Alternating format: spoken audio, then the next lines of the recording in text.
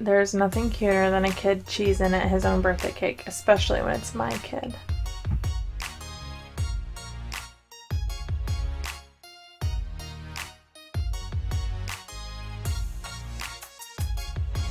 Hey, it's Jackie and welcome back to my channel. I am so excited because today is my son's birthday, September 11th, and I'm sharing with you the cake that I made him for his third birthday.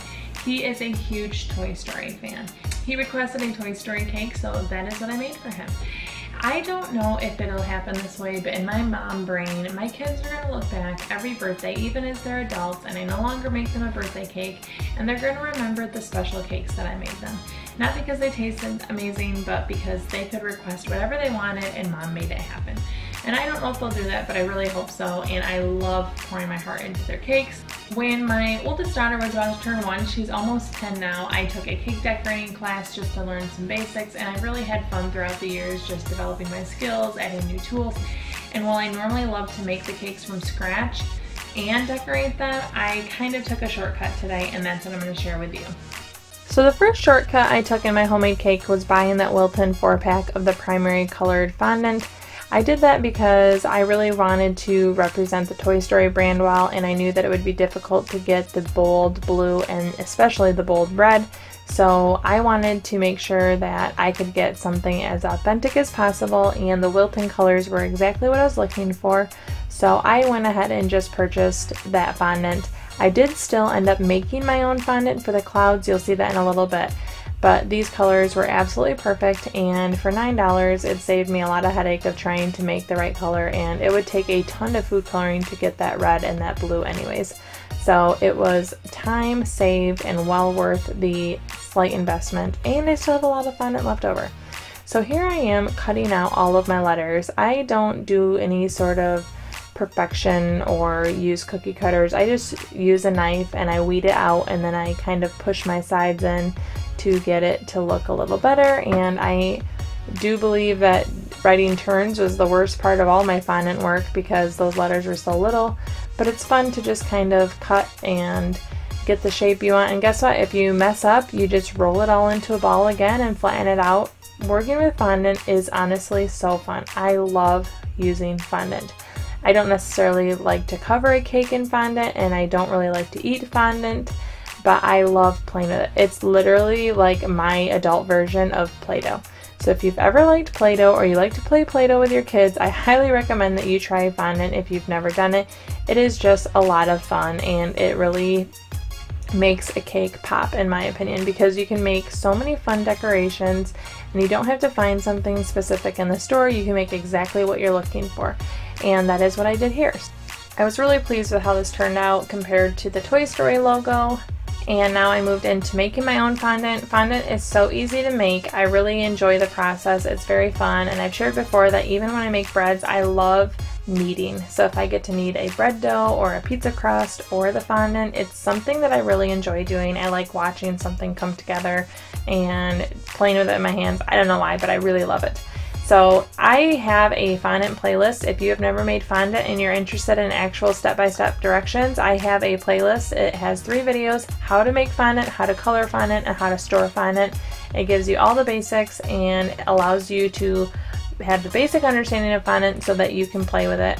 So I did cut out a lot of my kneading of my fondant because it took a lot longer than what I showed you, but it is just a labor of love. You just do it over and over again and it eventually comes together. Here I took an acorn cookie cutter and I stenciled out that pattern and then I cut it in half and that made my little clouds. I was quite proud of that discovery and it made the process much easier than hand carving out each individual cloud. And if you are familiar with the original Toy Story, Andy's room is a light blue with cloud background and that is used in a lot of their advertising and logos and that is why I went with clouds on a light blue background for the cake. I did end up making some one, two, three blocks here. I didn't really know if I'd use them on the cake. I didn't end up using them, but it was fun to try them, even though they didn't turn out to be super cute as I intended. What are we doing? Decorating my birthday cake. Are you really excited? Yeah! What do you think of it so far? The blue and yellow. Wait, what do you think though? You like it? Yeah. Okay, so we're gonna make it Toy Story, right? Yeah. Okay. Okay guys, so one thing that I did to make this birthday cake way easier than normal is I went to the store and I bought a cake. So just the five of us are gonna eat this. We're not gonna eat it for many days, so I got a small one. And instead of making a cake from scratch, filling it, making it the flavors he wanted, making my icing, coloring the icing, hoping I get the colors I want, I went a little easier this time to give myself a break. You saw that I bought the pre-made colored fondant. I made my own white fondant. And then I bought this cake for $11.99. They did light blue like I wanted with a yellow border. It's marble cake, it's buttercream icing, and I just had to pick it up, which was a pretty sweet deal. And because I'm super crunched for time this week, it worked really well instead of going full on from scratch and I can decorate it and still personalize it and really deliver it with love. One great thing about fondant is you can make your pieces and store them for a long time before you actually need them. I only did it a few days ahead of time, but it allowed me to work on my piece well before the cake needed to be done. And that is something that is fun about it because you actually want your fondant to dry out a little bit if you want it to hold its shape and you don't want it to become really gummy on the cake or have the icing um, kind of melt into the fondant. It really helps if you dry it out a little bit, especially if they're pieces that are going to be removed and not actually eaten with the cake. We won't probably eat this fondant. My kids might have some of the clouds, but I know Matt and I will just peel the fondant off before we eat it. But making it ahead of time is really helpful. And Kel was able to just help me press these pieces on and it was so easy and quick. So we have these sprinkles. They are primary colored stars. I thought they were perfect for Toy Story. And we are going to just I'm gonna try to border up here. That's what my goal is with this. But Cal wants to help, and it's gonna be a little harder. Do you wanna help? Is this your birthday cake? Yeah. How old are you gonna be? Three. Good job, buddy. You're so, so good. I really wanted to add the sprinkles just to the border because I thought they were super cute and I didn't want them to be everywhere and make the cake too busy. So while I wanted to incorporate them, I only wanted them on the very edges and these kind of sprinkles actually taste not that good to me. Kel ended up eating a few and he said, why do these taste like rotten eggs? So they are more cute than they are delicious and I didn't want to overwhelm the cake with rotten egg sprinkles, you know what I mean? So we are just adding them to the edge and it took a little bit of time and a little bit of patience, especially when you're doing it with an almost three-year-old, but it was super cute and I like how it ended up coming together and I love that it brought a little bit of green into the cake beside just the three primary yellow, blue, and red. And here we are just finishing it up. I'm kind of cleaning up some of Kel's uh, choice placement, not quite on the border but he had a lot of fun and it was more fun to decorate it with him than I expected it to be. And I was so pleased with how the cake came together.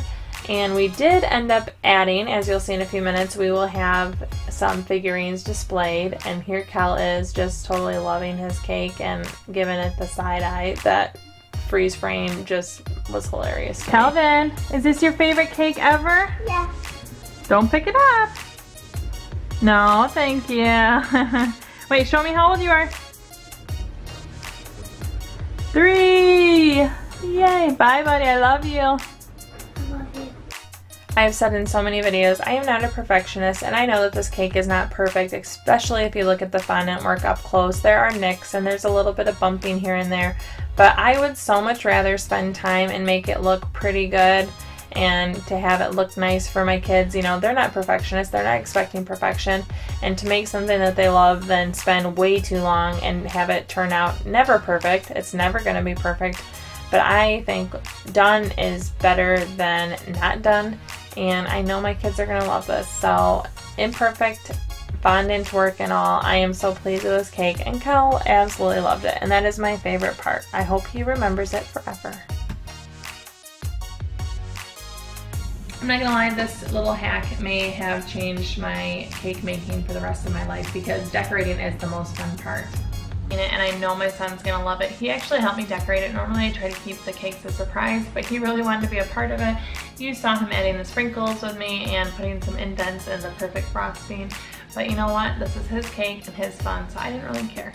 If you have ever wanted to make fondant and you haven't tried it or if you're looking for a recipe, I'm going to share with you my fondant playlist that teaches you how to make marshmallow fondant, how to color it, and how to store it. It's so much easier than you're going to think.